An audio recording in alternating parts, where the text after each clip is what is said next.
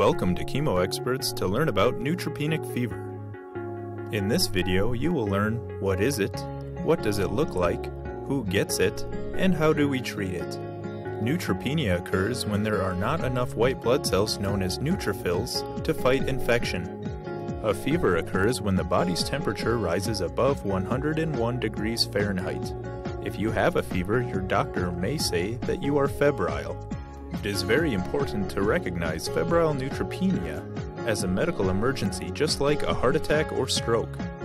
If you have received chemotherapy within the last three weeks and develop a fever, you may need to go to the emergency room immediately. Talk to your doctor about your risk of febrile neutropenia before chemotherapy starts.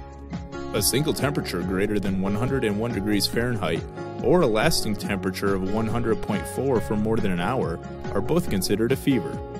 It is extremely important that you have a working thermometer at home and take your temperature regularly or anytime you feel feverish.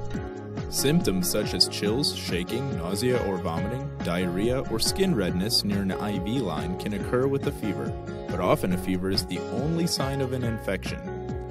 Neutropenia is caused by chemotherapy suppressing the production of good white blood cells known as neutrophils.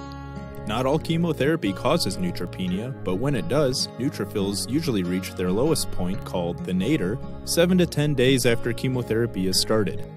The risk of fever is greatest during the nadir. Neutropenia isn't only from chemotherapy, it can also be due to cancer located in the bone marrow that prevents healthy neutrophils from being made. Neutropenic fever is often caused by normal bacteria in the intestines or on the skin that make their way into the bloodstream. On occasion, infections can be due to a virus or a fungus. Proper education and acting quickly when there is a fever are keys to preventing and treating this life threatening condition.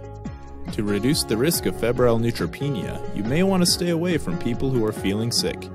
Additionally, potted plants or gardening can be a source of bacteria or fungus. When possible, it's a good idea to steer clear of construction sites as well. Frequent hand washing is the best way to remove bacteria. You can help lower your risk of infection by having your friends and family do the same.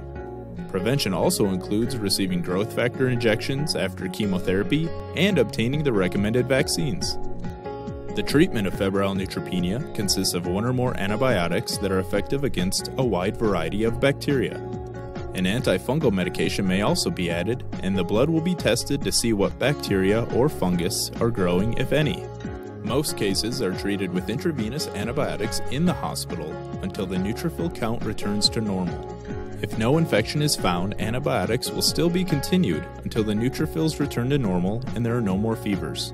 If a bacteria or fungus is cultured from the blood, you may need to continue antibiotic treatment at home. Neutropenic fever is a medical emergency.